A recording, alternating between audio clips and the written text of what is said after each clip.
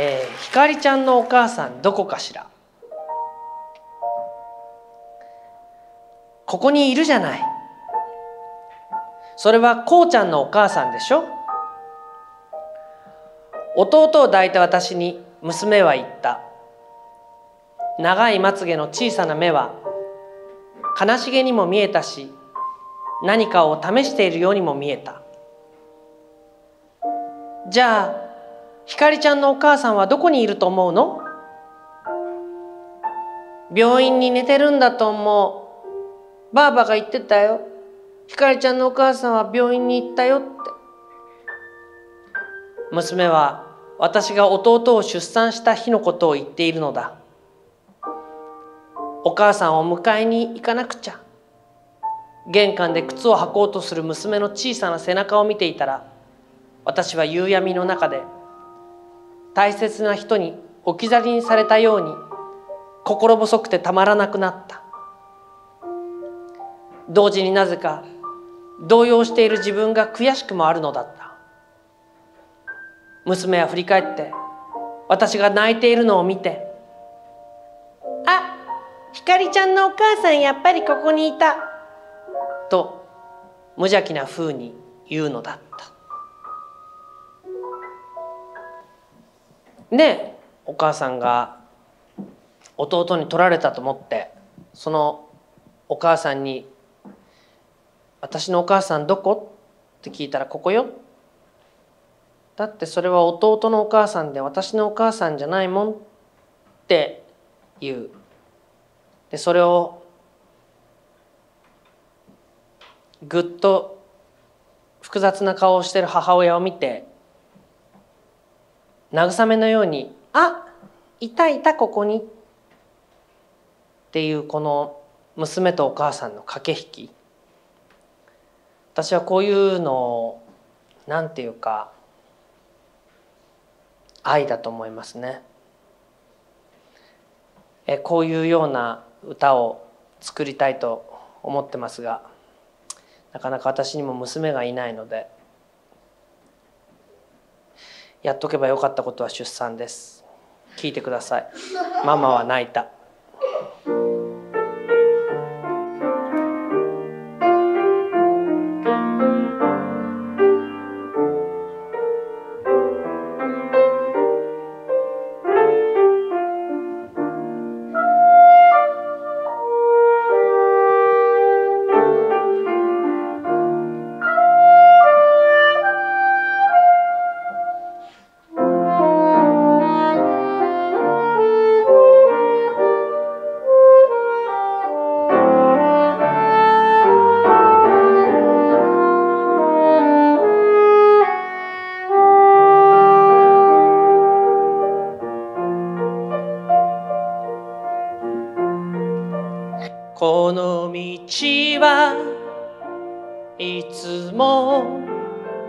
手をつないだね。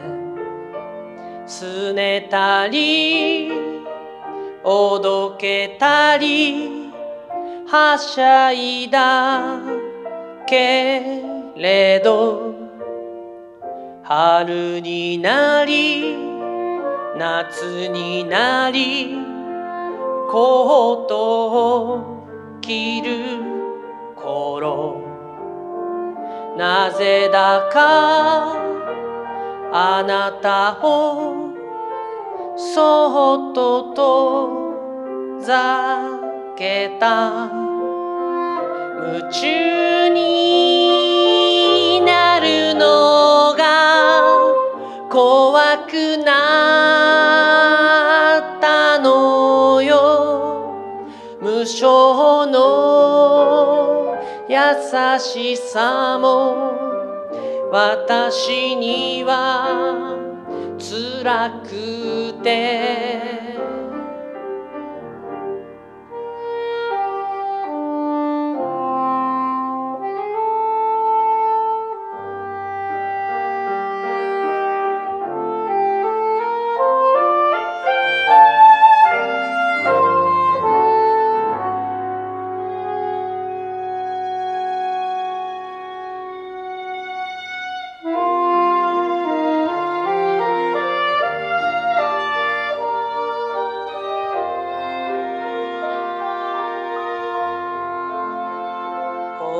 の道を曲がって小さな口づけ。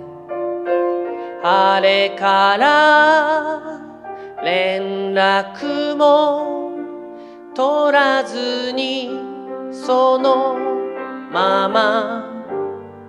プラタナス並木は涙色の風。10年と2ヶ月が過ぎたわ。キスから。ごめん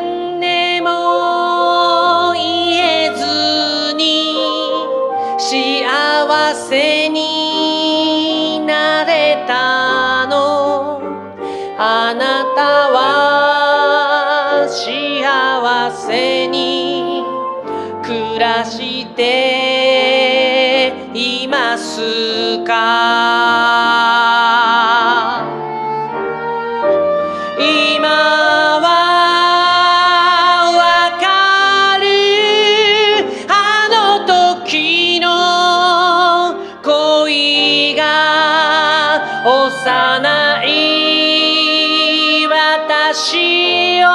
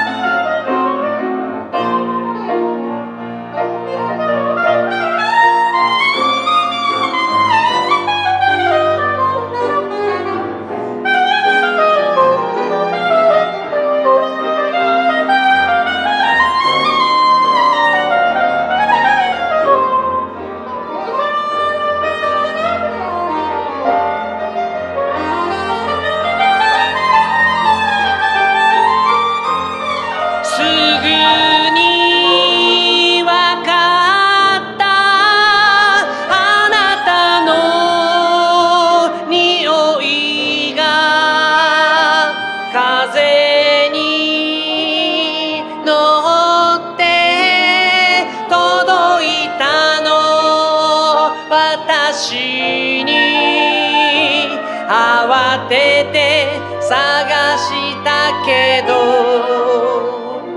いるはずもなくて。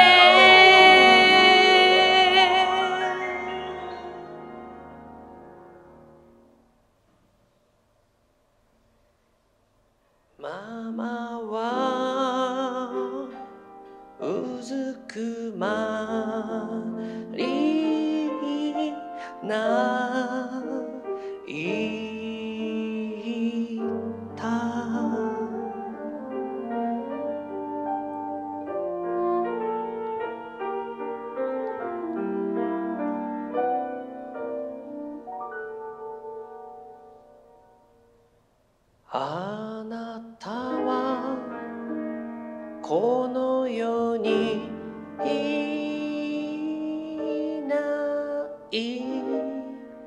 気が